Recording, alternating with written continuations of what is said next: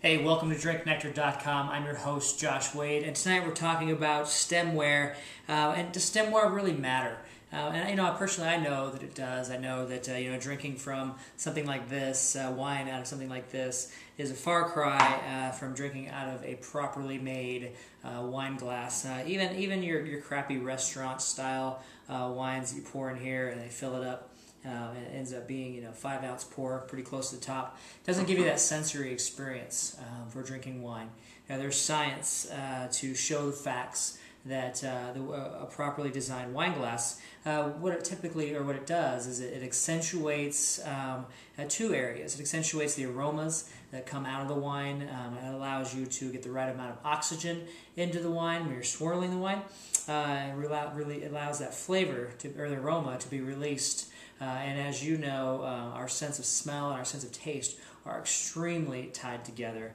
Um, the other piece uh, of a wine glass that's really important uh, is the opening, uh, the size of the opening in the mouth. I mean, they're designed specifically uh, for certain wine glasses uh, to accentuate the flavor profile that you're going to get. Some wine, you know, coats your entire mouth, and you get the experience across, you know, the entire breadth of the palate. And so, you know, having a uh, a larger opening in a wine glass, even larger than this for some wines, um, allows that to be you know, washing across all your mouth. As where you'll notice, I got a champagne flute. It's tall and skinny. That helps the bubbles to go to the top um, for the you know, more of the uh, look of it, uh, but also to uh, direct the flow of the liquid more towards the center of your palate. So there's some science behind it there. Uh, but recently I received these wines for review uh, by Ravenscroft Crystals, and there are these invisible line of wine glasses. Uh, you know, a phenomenal difference really is the first thing you notice is in the weight.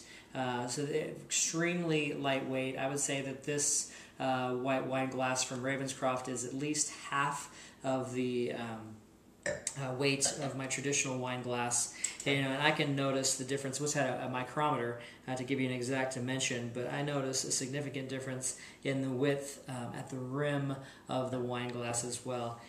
you know, for me, I've never been super pleased with my space age um, looking uh, wine glasses with the big balloon. I, I like them. Um, they're fun at parties, and we have a lot of these. Um, but for presentation on video, I think they're distracting from the wine because uh, you don't get to see straight into the wine. So when Ravenscroft contacted me um, about potentially reviewing these glasses, I was more than happy to oblige.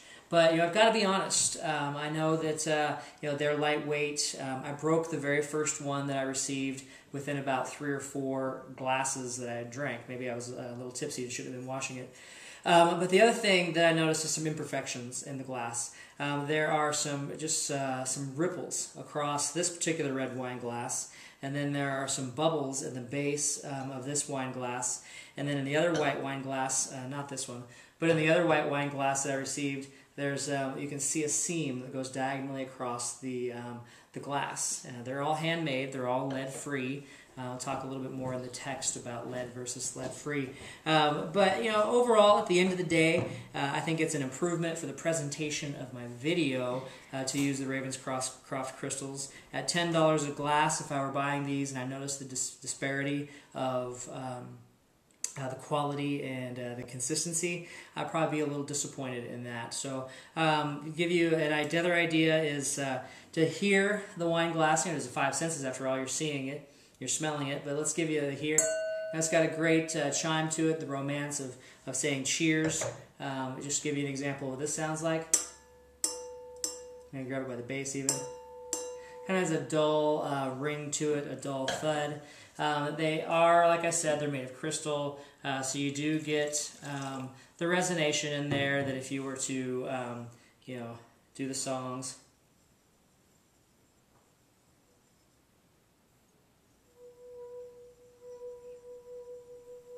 So that does come across uh, if you're going to make some wine glass music. Uh, the glasses are certainly functional. They light, they're lightweight. They feel nice in your hand.